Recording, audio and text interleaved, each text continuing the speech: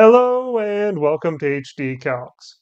I'm Rick and in this video we're going to have a look at how we can do some graphing basics on the Texas Instruments TI-84 Plus graphing calculator. If you don't have one of these calculators but would like one, check the link in the description down below. To do this, we'll use the y equals key that looks like this, located here, the window key that looks like this located here, the zoom key that looks like this located here, the trace key that looks like this located here, the graph key that looks like this located here, as well as the second key that looks like this located here in blue, the delete key that looks like this located here, and this variable key that looks like this located here. To get started with graphing, first we have to go to the y equals menu. To do that, we hit the y equals key here, which brings up this menu here where we can enter our functions.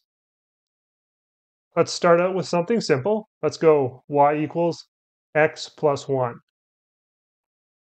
All right, first we have the x. To enter x, we use this x variable key here. Not the alpha x, this one up here at the top. So we go ahead and hit that. We see x on our screen, and then we go plus 1. There we go. We've entered our function. Now, if we want to view it, all we have to do is hit the graph key here. And it'll go ahead and graph what we've entered. If we want to zoom in on this, all we have to do is press the zoom key, which brings up the zoom menu. We can zoom in with 2 here. We press it, and that puts a little cursor on our screen. That starts in the middle, but you can move around until you center it and choose where you want to zoom to. So let's zoom to right there, hit enter, and we see we've zoomed in right there. If we want to zoom out, again, all we do is the zoom key, scroll down to zoom out, select it, and again, we have a little cursor there that asks us where do we want to center our zoom. So we'll center there, zoom out, and there we go. We can also manually choose our zoom in the window key. This gives us our window dimensions. Let's set our window to x and y, negative 5, positive 5. So to do that, we can just set our cursor there, hit the clear button, and go negative 5 by 5 clear that. Negative 5 by 5. Now if we hit graph, we can see we've reset our zoom to negative and positive 5. If we want to go back to the standard or default zoom, what we do is go to the zoom menu again, scroll down to number 6, Z standard or zoom standard, select it, and there we go. We're back to our default or standard zoom. All right, let's edit our function. So we go back to the y equals, and then let's change this x plus 1 to an x plus 0.5. So we move our cursor over and enter 0.5 over top of the 1 and hit enter. Again, we can view the graph with graph. There we go.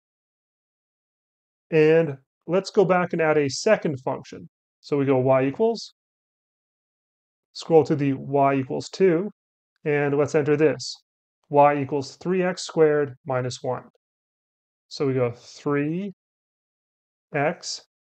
squared minus 1 and hit enter. Now if we hit graph,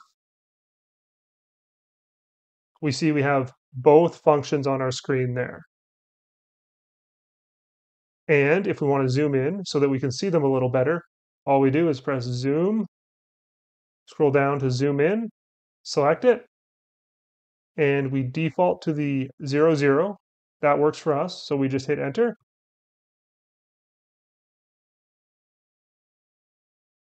And there's a better view of our two functions.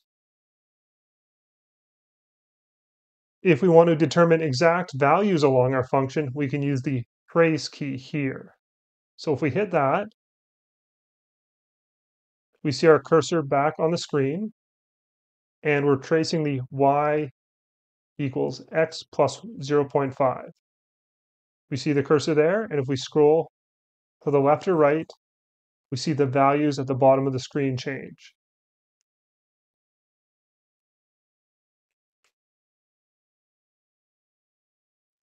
So we see at x equals 1, y equals 0.5. But if we scroll to the right, our x and y values will change.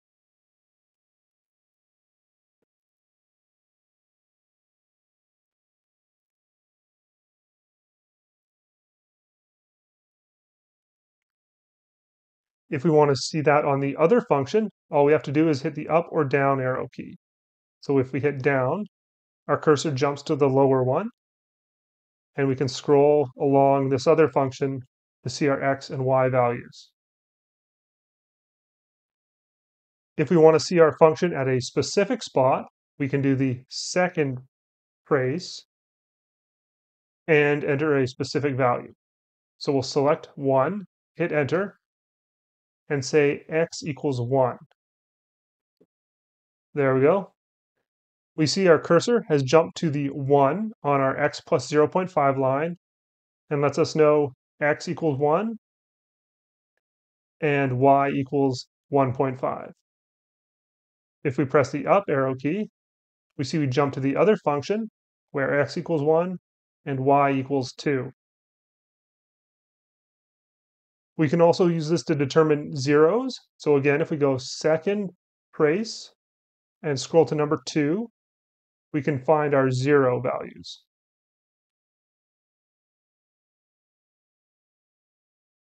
So we see we're already on our x plus 0.5. And it's asking for a left bound.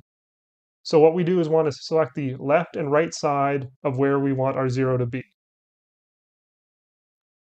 So if we want to determine the zero on our x plus 0.5, we can set our cursor here, hit that, and we now see a little arrow appear on the left side.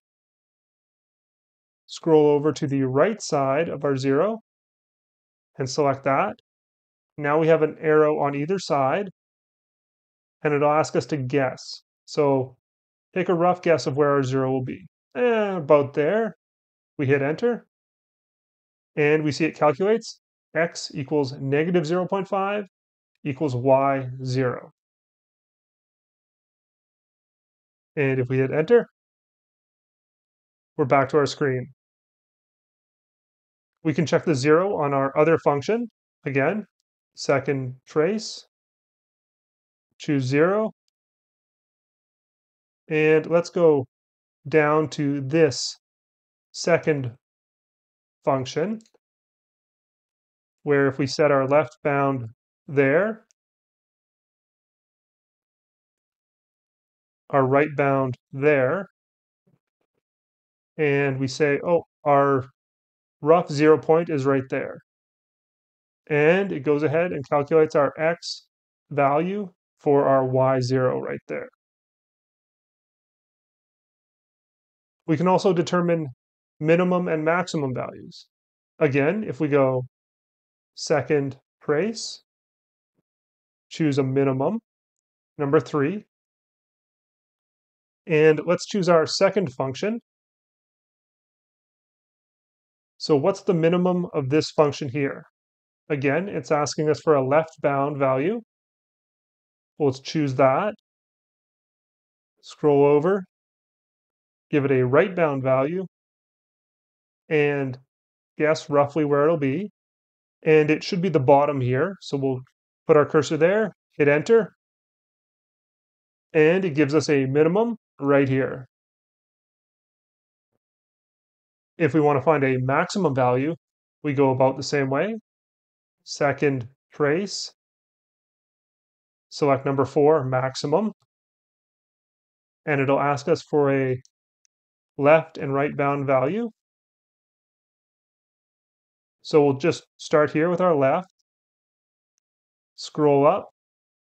Eh, there's no good maximum point we can choose, so we'll just choose that. There's our left and right bounds. And since we know it'll be on the far right here, we'll just leave our cursor there, hit enter. And it gives us our maximum value between those two points. We can also determine intersections. Again, with the second trace, scroll down to number five, intersect. Choose that. And it's asking us to highlight which curves we want to intersect. So we're on our first curve or function there. That position looks good. We'll just hit enter. And our cursor jumps down to our second curve Again, that looks pretty good. We can just hit enter there. It's asking us to guess. That's roughly where our intersection will be, so we'll just hit enter there. And we see it calculates our intersection point here. All right, and when we're done working with our graphs and want to go back to our main screen, all we have to do is hit second mode with the second function of quit. And there we go. We're back to our main screen. Thanks for watching, everybody. I really hope this has been helpful. If it has, you can help me out by hitting that like button and subscribe for more calculator tips in the future.